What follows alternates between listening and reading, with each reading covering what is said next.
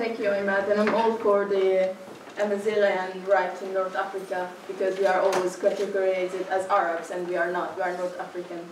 So um, I'm going to speak about Murtad under Sharia law. Murtad is the word for apostate, the is Islamic word of, of apostate.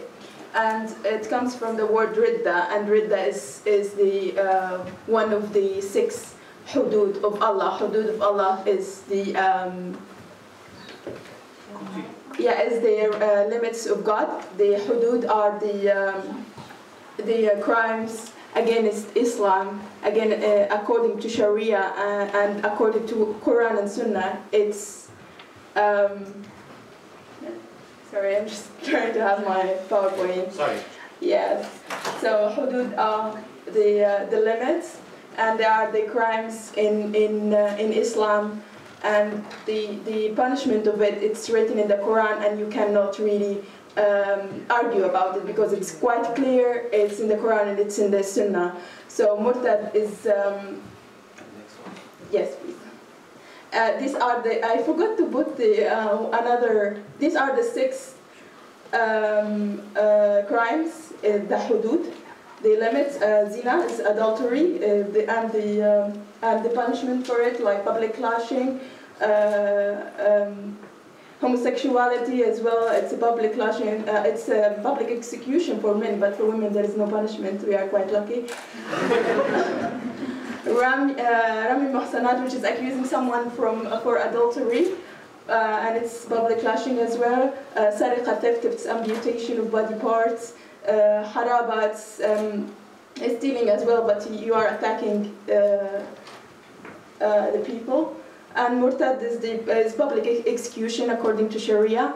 And I forgot to write drinking, it's slashing as well. Um, so, uh, can I have the next slide, please? So, uh, in, in the Quran, there's, there's, um, there's two, uh, two parts of the Quran, and that's why people maybe see it as a uh, uh, contradicting itself, but there's, uh, there's a history behind it. We have in the Quran is um, surah, which is Makkiyah. Makkiyah came uh, during the preaching, the Dawah time, and it's quite um, a more humane because Muhammad at that time he still just started his uh, preaching for his new religion, and so it's it's um, he wants to gather people as much as he can. And so when, when you talk about um, apostate in, in Islamic Sharia, the moderate Muslim, they would say to you, no, you know, according to the Quran, it says that you have your religion, I have my religion, you believe whatever you want, I believe whatever I want, and that's it. There is no something that we are going to kill you.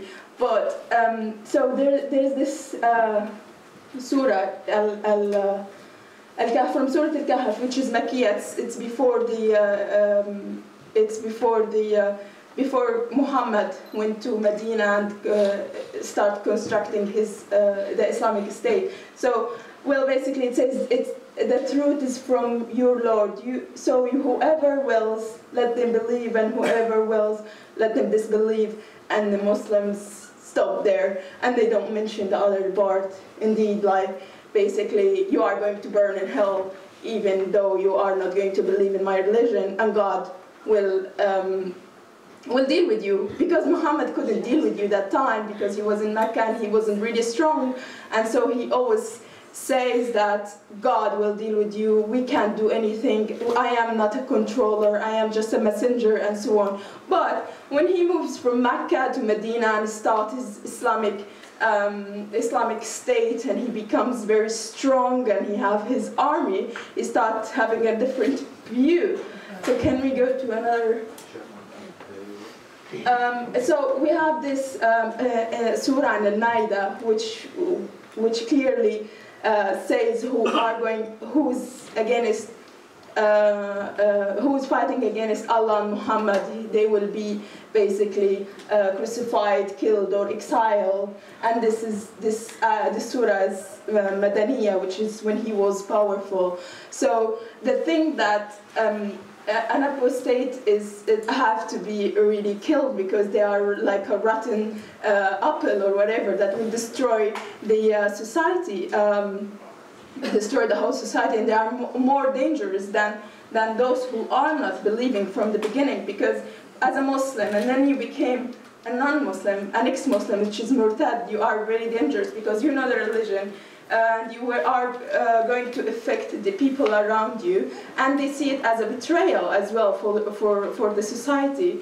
And uh, uh, they don't like them. And it's better like um, it's better to be dead and you get they get rid of you. And that's what's murtad under Sharia law and that's what's the punishment of it. And I don't think that these people who are um, demonstrating like in Libya a week ago uh, um, few women went on demonstration asking for implementing of Sharia law in the country and uh, we want to be an Islamic state and so on um, and then and then they come to say oh, we are no, we are against this and that and so on. If you want to believe in Islamic Sharia, then you have to believe in everything because that's that's the Islamic rules. That's the Islamic Sharia.